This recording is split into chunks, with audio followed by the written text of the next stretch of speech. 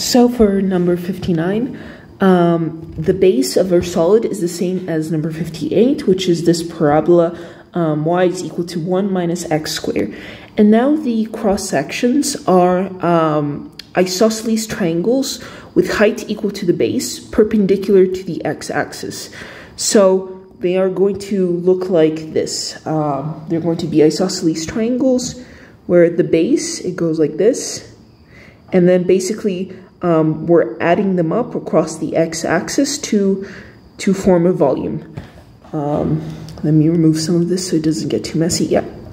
So let's think about how this area is going to look like, right? Uh, the first thing is we want to set up our integral because we're integrating from 0 all the way out to x is equal to 1. Um, this is the point uh, 1, 0, where it hits that that line.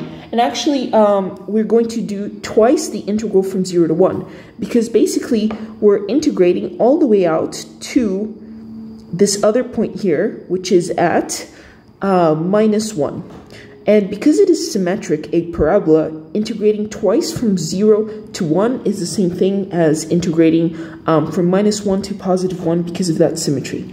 So this is what we're going to go. We're going to do. We're going to go twice from 0 to 1. And now let's think about what the area of our triangle is. Well, it is isosceles, so that means that these are the same. And then it's telling us that the base is um, equal to the height. So um, the base is equal to the height here, so I'm going to put that as another b, and the area here was just base times height divided by 2, so it's just b squared over 2. Now, let's think about how we're going to express this base, because the base here is basically just the height of the function, right?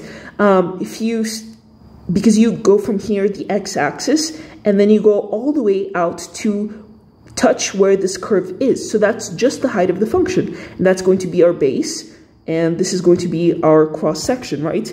So basically the base is equal to the height of that function, so 1 minus x squared.